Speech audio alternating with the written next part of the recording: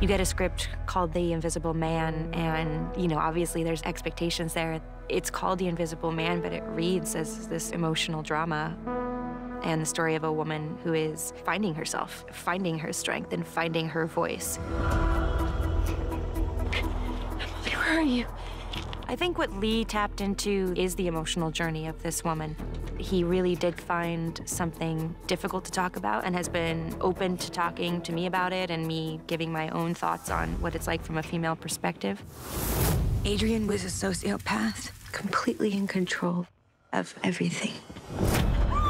Open the door!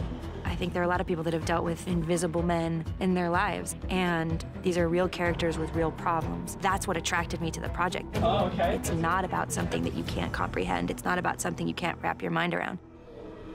Quietly now, and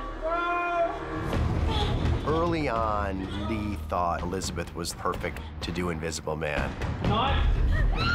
If it weren't for her, the movie wouldn't be nearly as good as it is.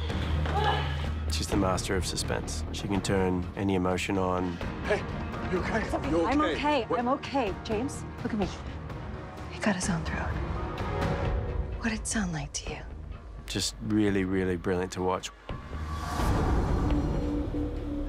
So we can't be too far across. The most physically challenging thing was the fight sequence that we did with the Invisible Man. I loved it when I read it, and so the pressure to do it justice is kind of huge. I've never done a moment like that, and I really wanted it to be cool.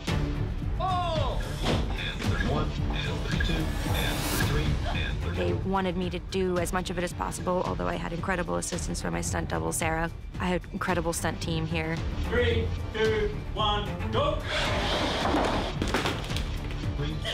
That was definitely, definitely really challenging. I felt I was pretty beat up the next day. And we're four, and we're five, and we're But it was fun too, so it was also kind of cool and gratifying.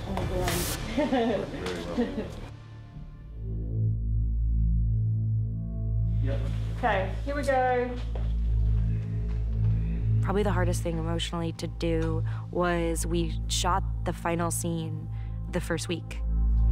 So that was just a little bit of mind trip, trying to reverse engineer that and kind of think about what we wanted the final scene to be, which is this huge moment in the movie after all of this stuff has happened to Cecilia. Please, please, you have to help me. He's trying to kill himself. You have to come as fast as you can. Please.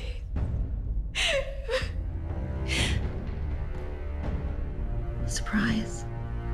I'm very happy with it. I'm very proud of it. But that was definitely challenging because you're dealing with a lot of information that you don't have yet. So, in a way, it was kind of cool because then we actually did know where we ended up. And it was a matter of just backing up from there. Full on femme fatale stuff.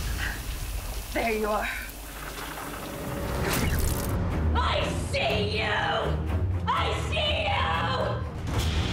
Take my work seriously and I love what I do, but I don't take myself seriously. I have a full knowledge of how lucky I am. Basically, I just pretend for a living.